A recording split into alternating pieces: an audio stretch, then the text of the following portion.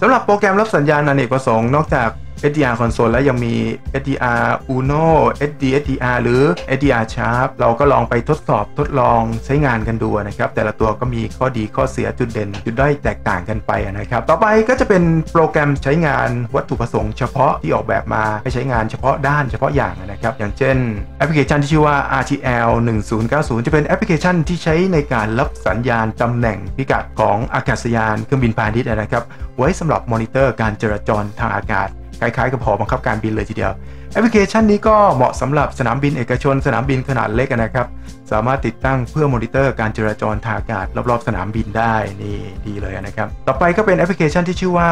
AIS Ship Tracker นะครับแอปพลิเคชันนี้ใช้ในการรับสัญญาณ พิกัดตำแหน่งของเรือเดินทะเลนั่นเองนะครับก็เป็นประโยชน์สำหรับนักเดินเรือหรือกัปตันเรือนะครับที่จะใช้ในการมอนิเตอร์การจราจรทางน้ำทางเรือนะฮะต่อไปก็จะเป็นแอปพลิเคชันสำหรับรับภาพสัญญาณ ภาพถ่ายดาวเทียม ตรวจอากาศนั่นเองนะครับ ลักษณะก็คล้ายๆกับ SSTV นะครับ แต่ก็จะเป็นโปรแกรมอีกตัวหนึ่งที่สามารถรับภาพถ่ายจากดาวเทียมตรวจอากาศ NOAA ได้ ต่อมาก็จะเป็นแอปพลิเคชันในลักษณะเครื่องมือวัดทดสอบนะครับ อย่างตัวนี้ก็จะเป็น Spectrum Analyzer ที่เราสามารถมอนิเตอร์สเปกตรัมของคลื่นความถี่ได้นะครับ หลังจากเรารู้จัก SDR และประโยชน์ในการประยุกต์ใช้งานในด้านต่างๆ กันแล้วนะครับ ตอนนี้เราก็มาถึงลำดับในการทำความรู้จักกับฮาร์ดแวร์กันบ้างตัวอุปกรณ์ ซึ่งเป็นอุปกรณ์ราคาประหยัดสำหรับผู้เริ่มต้นเลยทีเดียวนะครับ มันก็คือ RTL SDR USB TV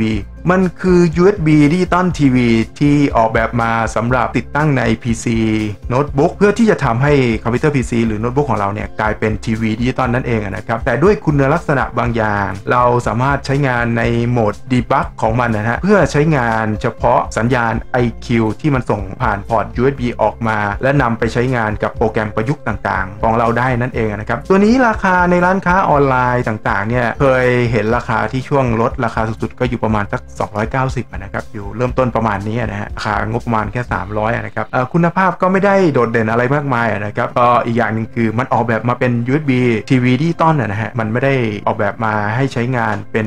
SDR โดยเฉพาะความสามารถอาจจะทำงานได้ไม่โดดเด่นนักนะฮะแต่ก็พอใช้งานได้นะครับสำหรับผู้เริ่มต้นราคาประหยัดประหยัดก็ลองไปหามาใช้งานกันดูนะครับเมื่อเราผ่าข้างในออกมาก็จะเห็นวงจรการทำงานทั้งหมดนะครับก็จะมีนี่เริ่มแรกเลยก็คือจุดเชื่อมต่อกับสายอากาศซึ่งจะรับสัญญาณความถี่วิทยุจากสายอากาศมา นี่เราก็ยังเห็นตัวรับสัญญาณรีโมทนะครับ มันก็คือวงจรที่ทำงานในเครื่องรับทีวีดีๆนี่เองนะฮะ ก็ต้องมีวงจรหรืออุปกรณ์รับสัญญาณจากรีโมทคอนโทรลนั่นเอง และที่โดดเด่นก็คือจะมี IC 2 ตัวที่จะมีวงจรการทำงานภายในนะครับ แล้วก็มี USB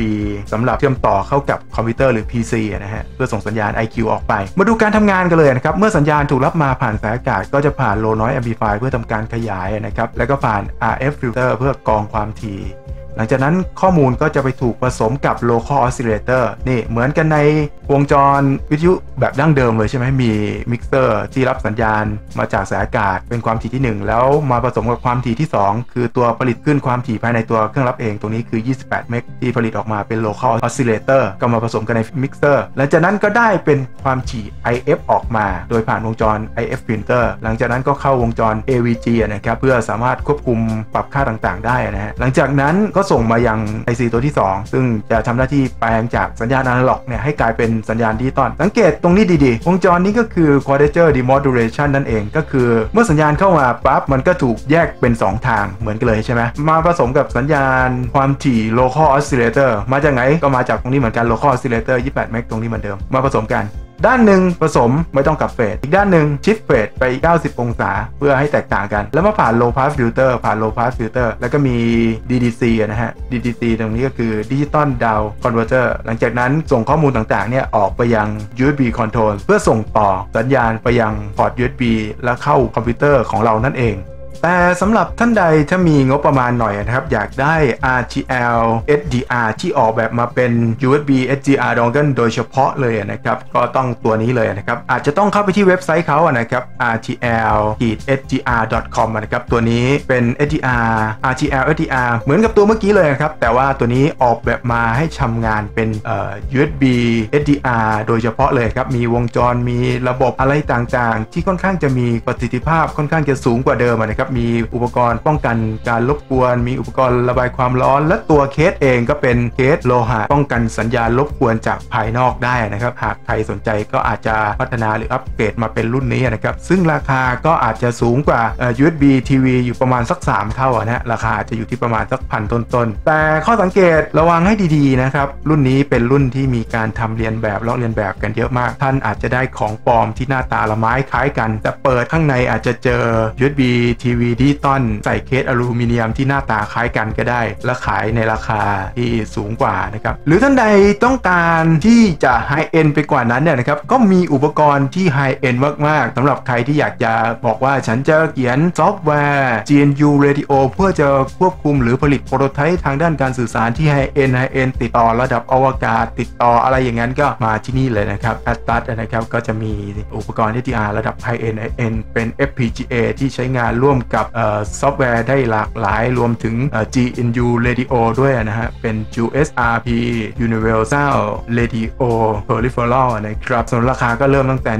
1 1 ล้านกว่าบาทนะ แล้วก็มา 3 0 0 0 0 0 2 8 0 0 0 นะครับ เรามาดูขั้นตอนวิธีการติดตั้งกันเลยแล้วกันฮะ ในเมื่อมันออกแบบมาใช้งานเป็น USB TV นะครับ เราจะมาใช้งานในลักษณะของ debug mode การติดตั้งใช้งานก็จะต้องเป็นซอฟต์แวร์เฉพาะนะครับ ติดตั้งไดรเวอร์เฉพาะของมัน มาดูวิธีการติดตั้งกัน ก่อนอื่นก็ให้ดาวน์โหลดโปรแกรมที่ชื่อว่า Zadig นะครับ เข้าไปที่ Google แล้วก็ค้นหาพิมพ์ Zadig เข้าไปนะครับ ก็จะเจอกับเว็บไซต์ของเขา ซอฟต์แวร์ Zadig เป็นซอฟต์แวร์ utility สำหรับช่วยในการติดตั้งไดรเวอร์ให้กับอุปกรณ์ USB นะครับ นี่เวอร์ชันปัจจุบันก็น่าจะเป็น 2.7 หลังจากนั้นก็ให้เปิดแอปพลิเคชันขึ้นมานะครับ เปิดขึ้นมาก็จะได้หน้าตา Dialog Box หน้าตาอย่างนี้นะฮะ ต่อมาให้ทำการเสียบ USB RTL HDR ของเราลงไปนะครับกับเจ้า USB TV นั่นแหละ นี่ก็จะได้ยินเสียงนะครับ ต่อมาให้ไปคลิกที่เมนู Read Device นะฮะเมนูที่ 2 เราก็จะได้หน้าตาอย่างนี้ขึ้นมานี่ก็จะเขียนว่า Book in Interface นะครับ ให้ทำการ Install Driver ครับ ใครที่เคยติดตั้งแล้วมันอาจจะขึ้นให้ Reinstall นะฮะ คลิกแล้วรอไปสักแป๊บหนึ่ง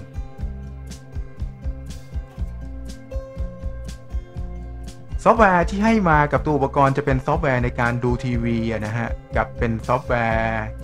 วิทยุ เครื่องรับวิทยุกระจายเสียงนะครับ เราไม่ได้ใช้ซอฟต์แวร์ตัวที่แถมมานะครับ เมื่อติดตั้งเสร็จก็จะขึ้น Bulk-In Interface 2 ตัว ต้องขึ้นอย่างนี้นะฮะ เวลาเข้าไปดูใน Device Manager แล้ว ถ้าไม่ขึ้นใครติดตั้งแล้วไม่ขึ้นไม่สำเร็จเนี่ย ให้ติดตั้งจนกว่าจะได้นะครับ ต่อมาให้ดาวน์โหลดแอปพลิเคชัน HDR Console หรือใครชอบตัวไหนก็ระวังหาดูนะครับ ผมค่อนข้างจะชอบตัวนี้เป็นพิเศษ HDR Console นะครับ เข้ามาที่เว็บไซต์เขาก็จะมีให้ดาวน์โหลดนะครับ เวอร์ชันล่าสุดก็น่าจะเป็น 3.1 3.2 นะฮะ แล้วแต่ว่าใครจะเลือกลงนะครับ ก็จะมีให้เลือกทั้ง 32 บิต และ 64 บิต ดูว่า Windows เราเป็นระบบไหนนะฮะ ของผมนี่จะเป็น 64 บิต ผมจะเลือก 64 นะครับนี่มันก็จะลิงก์มาที่วันไดของเขานะฮะ